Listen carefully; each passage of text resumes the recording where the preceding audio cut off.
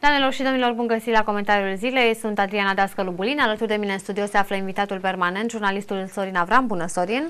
Bună, Adriana! Bine v-am regăsit! Un uh, 1 martie plin de semnificații, să spunem așa. Credeam că îmi spui o, o primăvară frumoasă, dar nu poți să spui că afară, uite, cum, o primăvară. O primăvară cum nu e vremea de afară, nu? Da, Ceva da, de da, genul da, ăsta. Da. Am avut uh, proteste, scumpiri, uh, mărțișoare, De toate. de toate. Asta cu protestele, uh, astăzi în uh, centrul Suceavei autorizația era pentru 400 de persoane, au fost peste 200 de sindicaliști.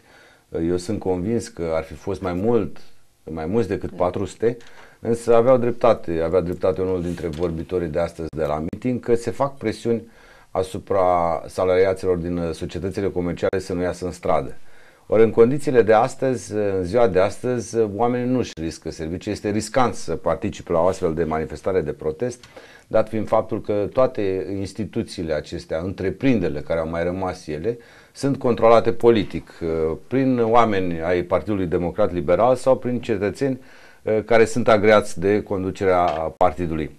Și uh, lumea este temătoare acum spune "Bă, mai bine așa rău cum e, dar decât, Decât- șomer, mai bine da, să Și îmi văd fără eu de lucru slujbă. că dacă iese eu în stradă, oricum nu se schimbă nimic. Și acum fie vorba între noi, în țara asta cred că poate să iasă, să vină toți egiptenii care au fost în piața centrală din Cairo să-i vezi în București, tot nu se schimbă nimic. Pentru că e o diferență între, uh, între domnul președinte al nostru și domnul Mubarak, să spunem. Sau mai, e mai, de seam, mai degrabă seamănă cu domnul Gaddafi.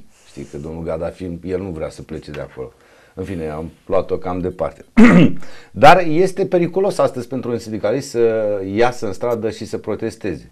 Uh, intenția actualei conduceri este aceea și s-a urmărit acest lucru și s-a reușit distrugerea mișcării sindicale. Au fost date câteva lovituri liderilor de sindicat care într-adevăr la nivel central sunt niște îmbuibați și niște nesimțiți, marea lor majoritate, niște șmecheri care s-au învârtit și și-au făcut averi considerabile și acum plâng cu lacrimi de crocodil la fel cum fac politicienii pe umărul celor mulți și amărâți.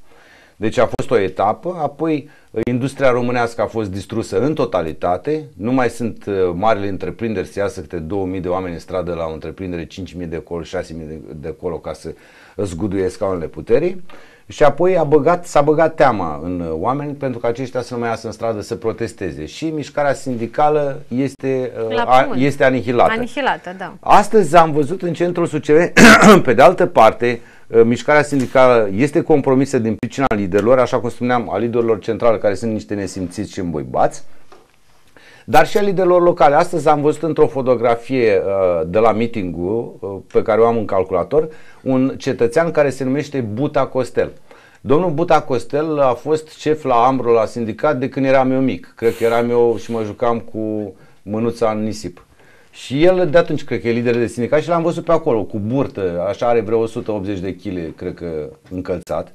Și l-am văzut el la mitingul sindical, el care este un îmbuibat, care a făcut averi colosale din uh, funcția lui de lider de sindicat și când îl vezi pe unul ca ăla, adică să-mi vină mie, eu să fiu, presupunând că eu sunt reprezentantul guvernului în teritoriu, prefect sau așa, uh, și să vină la mine sindicaliști, printre care și domnul Da. da. Buta de la Ambro, care s-a îmbuibat cu banii de la Ambro.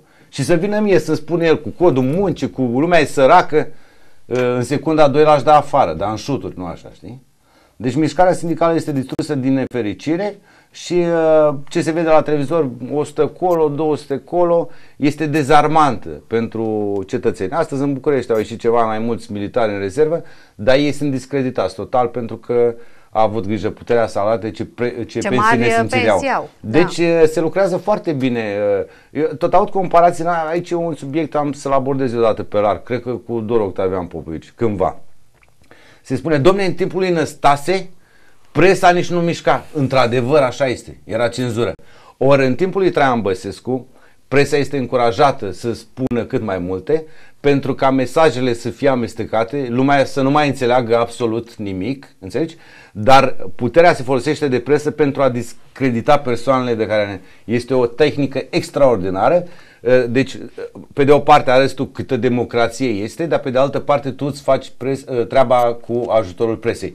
Și conștient fiind Traian Băsescu și oamenii lui care se ocupă de manipulare, că oricum nu ar mai fi putut să țină informațiile sub oboroc pentru că s-a dezvoltat foarte mult internetul și au apărut rețele de comunicare. Nu pentru că Traian Băsescu este democrat, da, da, da. se vorbește, ci pentru că ei folosesc presa ca să manipuleze lumea și să dea tot felul de mesaje, să nu mai știe lumea ce cu ea. Cum știe asta? Că sunt scumpiri de la 1 martie. Da.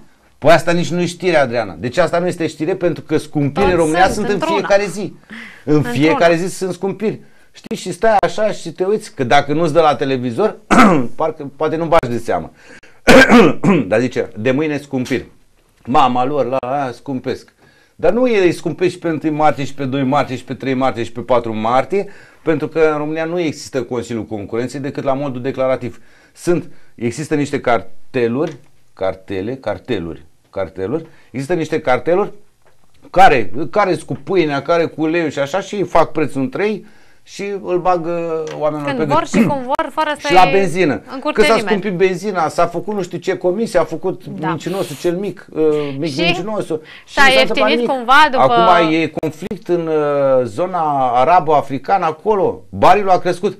Trebuie să mărim prețul din nou. Dacă nu e conflict și acolo, pare... sunt urși polari care da. au căzut pe o conductă din Siberia da, și da, mai da. vine gazul. Dacă nu, s-a, ursul coala s-a urcat în palmierul din Australia și a căzut palmierul și a înfundat nu ce conductă care vine din polul sud și se duce prin Anglia. Explicații dintre astea. se găsesc mereu. Bun, am vorbit și despre scumpiri și despre mărțișor. Am văzut astăzi, iată, reuniunea directorilor din învățământul preuniversitar. Nu, nu, nu, nu, nu. deci n-ai înțeles tu. N-am înțeles. Deci, Explică. Uh, uh, și te rog, uh, rog pe modest să, uh, azi am venit special, bă, cineva a știut că astăzi voi vorbi despre domnul președinte Gheorghe Flutur și mi-a pus mărțișor cu un fluture în piept, un mărțișor deosebit. Acesta este, este. Da, este un mărțișor special uh, și am venit gătit cu acest mărțișor. un, uh, împodobit. Împodobit ca un... Ca un general ca un aproape. General, da, așa. Da. Uh, să vorbesc despre domnul președinte. Păi n-a fost azi la întâlnirea cu directorii de da, școli. Da, apropo, știu, eu am aici fluturașul ăsta în piept cu mărțișorul, dar domnul Flutur a primit de ziua lui anul trecut un flutur din la mare, așa, avea de la băieții din presă, așa, să tăia în mână și a făcut o, am eu o fotografie. Da. Trebuia să o aduci. Uh, și domnul, deci astăzi, uh, teoretic, a avut loc întrunirea directorilor de școli cu conducerea inspectoratului da. școlar Suceava, în cadrul căreia domnul Carcalete și-a prezentat raportul de activitate pe 2010. Da. Dar, practic, a avut loc o uh, acțiune de popularizare a acțiunilor președintelui Consiliului Județean Suceava și o sesiune de învățăminte. Știi cum era? De la Mateiu, nu știu care, către fiii lui. Nu, era de la Mateiu Basarab. Da. Matei Basarab către fiii, fiii săi. Așa, de la Gheorghe Flutur către supușii săi a fost astăzi. Dar important astăzi, e că s-a încheiat cu un parteneriat. Astăzi supușii din învățământ. A, de la Gheorghe Flutur pentru supușii săi. Dar i-a rugat, nu le-a cerut nimic, așa am înțeles că i-a rugat. Păi i-a rugat. Să aibă grijă de provocările Măi, învățământului sucevean. Deci învățăturile lui Gheorghe Flutur către directorii de școli de astăzi, domnul președinte Flutur din nou a vorbit asta cu etnobotanicile. Da. Asta e o temă care e dusă și răzdusă, dar trebuie să vadă populația. Pentru că l-ai văzut pe domnul președinte Flutur serios, în costum, lumea atentă la el, nici pâs nu se audea, nici musca, și astăzi a văzut la postul nostru de televiziune, mai sunt două posturi de televiziune în oraș, mâine apare în ziar și o să spună părinții copilor, domne, uite, domnul Flutur se interesează și de copiii noștri cu etnobotanice. Și după aia domnul președinte Flutur a băgat un pic realizările lui la Consiliul Județean și iar a pus placa aia că numai investiții private și a zis că numai așa ne vom ridica noi și ne vom dezvolta ca județ și o să spună lumea. Uite, domnul președinte, el chiar se zbate și vine și știe cum să facă treaba și a vorbit cu directorii de școli, cu puturoși ăștia de la școli, care și așa nu fac nimic, ca mama lor de bandiți, cu profesorii și așa, 16 ore, 18 ore, nu fac nimic, a, Domnul Flutur a făcut astăzi Uh, nu e o baie de mulțime, o baie de ceva. Am făcut o baie de ceva, unde el dă învățăminte. Peste tot unde merge domnul președinte Flutur, el știe. Ai văzut să vorbească și la pompieri, și la medici, acum și la profesori, și la directori de școală. Știe foarte bine și lumea stă și ascultă pentru că și-a dat seama că este singurul om capabil din județul Suceava să rezolve problemele acestui județ și păcat că nu e prim-ministru să rezolve și problemele acestei țări. Domnul Flutur spune astăzi directorii de școli, să se ocupe de etnobotanice, să popularizeze astea cum se cheamă proiectele cu finanțare europeană. Da. După aia să-i canalizeze pe tineri către uh, meseriile care se cer.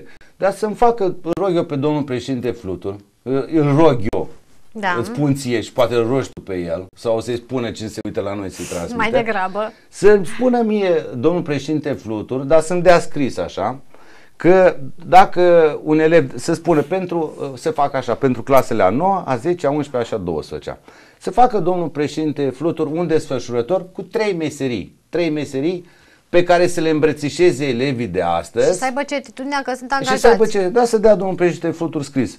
Așa, pentru clasa nouă facem 4 ani de liceu cu 4 ani de facultate, 8 ani.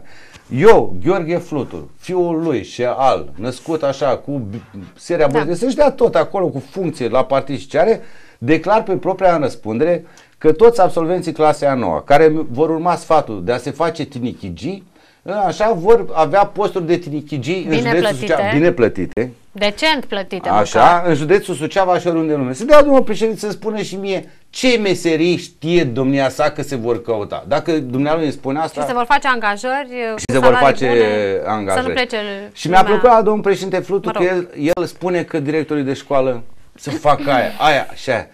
Dar n-a zis domnul președinte Flutur, domnule, cu și promisiunea că începând cu jumătatea acestui an veți avea salarii mai mari. Deci toată să dăm responsabilități, dar la plată nu mai vorbim.